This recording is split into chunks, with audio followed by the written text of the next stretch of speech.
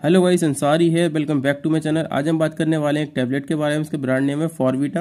यहाँ पे इसका ब्रांड नेम लिखा हुआ है। इस टैबलेट के बारे में फुल डिटेल में यूज़ के बारे में बात करेंगे। इसको खाते टाइम का डोज रहती है। डॉक्टर इसकी क्या डोज प्रिस्क्राइब करते हैं, इसके बारे में बात करेंगे। इसके साइड इफ़ेक्ट के बारे में बात करेंगे। लास्ट टाइम बात करेंगे, इस टैबलेट की एमआरपी क्या होती है। तो सबसे पहले हम बात कर लेते हैं इसके ब्रांड नेम से। ब्रांड नेम से हम स्टार्ट करते हैं वीडियो को और साइड इफ़ेक्ट और एमआरपी तक एंड कर देंगे। यहाँ पे इसका ब्रांड नेम लिखा हुआ है, मैंने बताया फॉरबिट है, यहाँ पे इसका ब्रांड नेम लिखा हुआ है। ब्रांड नेम वैसे हमेशा एरिया के अकॉर्डिंग चेंज होते हैं। किसी एरिया में कुछ ब्रांड नेम चलते हैं, किसी एरिया में कुछ ब्रांड नेम चलते हैं। तो अगर मैं इसके एक दो ब्रांड नेम के बारे में बात करूँ तो यहाँ पे इसका फॉरबिटा ब्रांड नेम है, ये एक टैबलेट आ गई। इसके अलावा एक बैटनीसोल टैबलेट आती है, एक बाइसोल टैबलेट आती है, एक बीटोस टैबलेट आती है, एक विटामिन फोर टैबलेट आती है। और जितने मैंने ब्रांड नेम बताया इनके अंदर कंपोजिशन सेम रहता है बीथामेथासोन इसके अंदर रहता है। और मेरे पास में टैबलेट है, उसके अंदर भी था मैथोसोन की एमजी है ज़ीरो पॉइंट फाइव एम वैसे ही अलग अलग एम में भी आते हैं। मैंने ब्रांड नेम इसके लिए अलग अलग बताया क्योंकि हो सकता है जिस एरिया में आप रहते हो, अगर इस टैबलेट को खरीदना चाहते हैं तो हो सकता है ये टैबलेट ना मिल के कोई और टैबलेट आपको मिल सकती है। इसका ब्रांड नेम तो चेंज होगा बट कंपोजिशन इसके अंदर सेम होगा। मैंने आपको इतने ब्रांड नेम बता दिया आप किसी भी ब्रांड नेम को खरीद सकते हैं, इसके अंदर कंपोजिशन सेम रहता है। इस बात को हमने पहले क्लियर कर ली, अब बात कर लेते हैं इसकी फुल यूज़ के बारे में। तो फॉरविटा टैबलेट एक एंटी एलर्जिक टैबलेट होती है, इसको एलर्जी की कंडीशन में यूज़ किया जाता है और इन्फ्लामेशन की कंडीशन में भी यूज़ करते हैं डॉक्टर।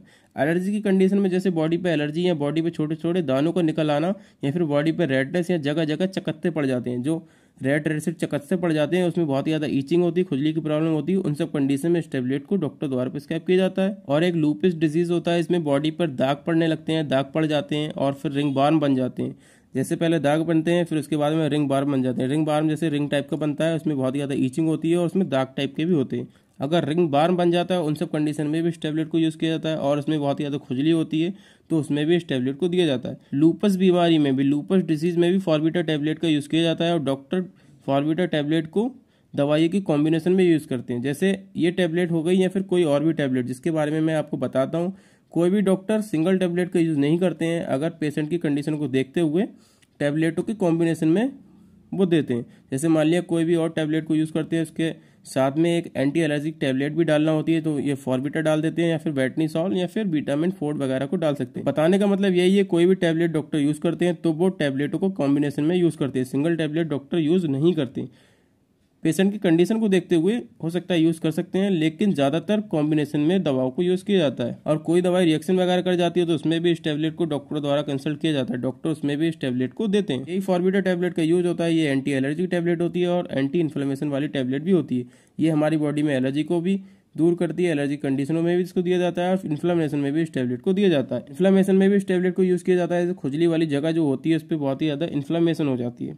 खुजली के साथ साथ उसमें सूजन भी हो जाती है इन्फ्लेमेशन हो जाती है तो उस टैबलेट को देते हैं डॉक्टर तो इससे खुजली भी इसकी धीरे धीरे ठीक होती है इन्फ्लेमेशन भी धीरे धीरे ठीक होने लगती है। तो इसमें भी इस टैबलेट को डॉक्टर द्वारा कंसल्ट किया जाता है, या फिर इसके अलावा कहीं सूजन हो गई, जैसे हाथ पैरों में या फिर आँखों के पास में सूजन अगर हो जाती है तो भी फॉर्बिटर टैबलेट को डॉक्टर द्वारा कंसल्ट किया जाता है। फ़िलहाल जितनी मुझे कंडीशन पता थी जिन जिन डिज़ीज़ में इसको यूज़ किया जाता है जिन जिन बीमारी में इसको यूज़ किया जाता है वो मैंने आपको बता दिया।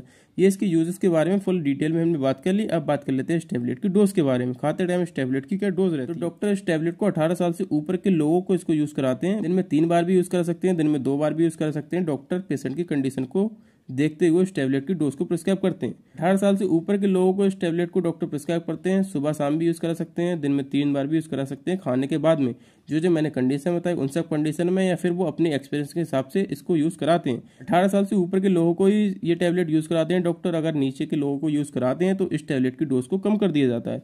हमारे पास में जो टैबलेट है, इसके अंदर जो कंपोजिशन है, वो zero point five M G है। बच्चों में अगर ये यूज़ कराते हैं तो इसकी क्वांटिटी को कम कर दिया जाता है। फॉर्बिटा टैबलेट के अगर साइड इफ़ेक्ट के बारे में बात करें तो हो सकता है इसको खाने के बाद में आपको नोजिया या वॉमिटिंग की प्रॉब्लम भी हो सकती है। उल्टी वगैरह की प्रॉब्लम भी हो सकती है, फिर हो सकता है आप इस टैबलेट को अगर रेगुलर यूज़ करते हैं रेगुलर बेसिस पे अगर आप यूज़ करते हैं तो हो सकता है इस टैबलेट को खाने के बाद में आपका वेट गेन हो सकता है, आपका वज़न बढ़ना भी शुरू हो सकता है। ये इसका एक साइड इफ़ेक्ट माना जाता है।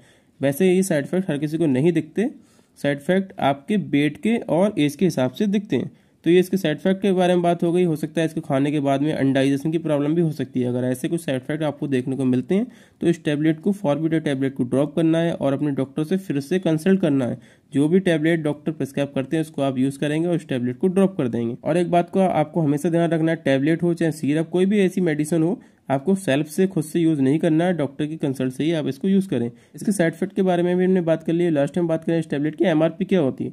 इसकी हम एमआरपी देख लेते हैं, इसकी एमआरपी ज़्यादा नहीं होती, इसकी एमआरपी यहाँ पे लिखी हुई है। ये जो टैबलेट है, इसकी स्ट्रिप की पहले हम बात कर लेते हैं। इस टैबलेट के स्ट्रिप में है ट्वेंटी टैबलेट्स का ये स्ट्रिप है। इसकी एमआरपी ओनली छः रुपये होती है। बहुत ही सस्ती टैबलेट होती है आपको।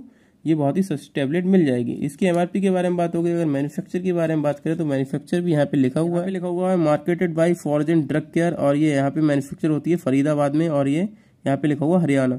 ये आपको दिख नहीं पाता होगा क्योंकि इसकी टैबलेट की जो स्ट्रिप की पैकिंग है वो ऐसी है। फ़िलहाल मैं आपको बता देता हूँ। यहाँ पे मार्केटेड बाई करके लिखा हुआ है फॉरजन ड्रग केयर और यहाँ पे फरीदाबाद में इसको मैन्युफैक्चर किया जाता है। और ये जो टैबलेट होती है शेड्यूल एच के अंडर में आती है। यहाँ पे ये शेड्यूल भी लिखा हुआ है लेकिन आपको ये दिख नहीं पाता होगा इसलिए मैं बता देता हूँ। और आप चाहें तो इस टैबलेट को यूज़ कर सकते हैं। जो जो मैंने कंडीशन बताई उन सब कंडीशन में विद डॉक्टर की सलाह के साथ में और मेडिसिन से रिलेटेड या फिर स्किन प्रोडक्ट के रिव्यू देखना चाहते हैं तो मेरे चैनल को सब्सक्राइब करें। Thank you so much for watching this video